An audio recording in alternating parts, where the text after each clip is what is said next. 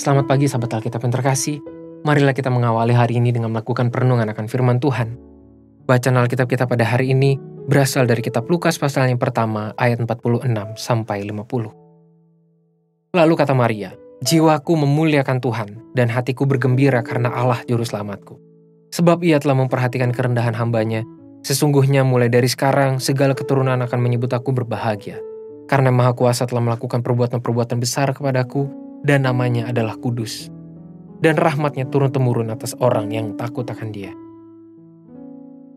Pujian Maria atau yang juga dikenal sebagai Magnificat merupakan luapan hati yang penuh syukur dalam puji-pujian untuk memuliakan Tuhan.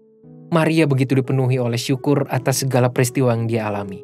Berdasarkan seluruh pengalaman besar yang telah dia dapatkan, Maria menyadari bahwa setiap hal yang terjadi merupakan karya Tuhan yang sedang dilakukan di dalam dan melalui dirinya.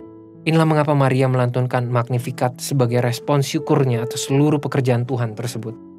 Di dalam pujiannya, Maria memuliakan Tuhan yang juga telah mengangkat dirinya dari segala keterpurukan status sosial. Semua itu pun terjadi hanya karena kuasa Tuhan yang sedang terwujud di dalam hidupnya. Perubahan status dan nilai diri Maria yang adalah dampak dari aktivitas ilahi dalam hidupnya juga dipersaksikan oleh Maria sebagai bentuk pekerjaan Tuhan yang berlaku untuk semua. Itulah mengapa Maria bersaksi bahwa rahmatnya turun-temurun atas orang yang takut akan dia. Pujian Maria merupakan bentuk pemulihan atas kuasa Tuhan yang begitu tulus dan murni, yang berasal dari kenyataan hidupnya sebagai umat Tuhan. Pujian Maria telah menjadi kesaksian yang begitu nyata.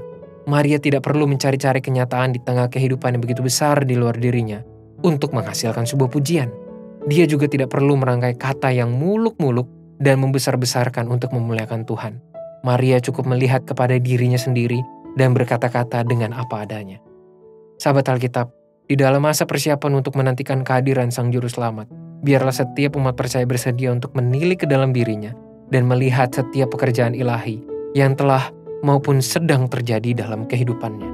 Nikmatilah pekerjaan Tuhan itu dan hasilkanlah pujian yang memuliakan Tuhan.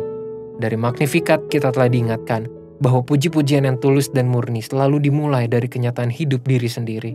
Inilah kesaksian yang paling baik dan bentuk pemulihan atas Tuhan yang sedang berkarya dalam hidup kita masing-masing. Marilah kita berdoa.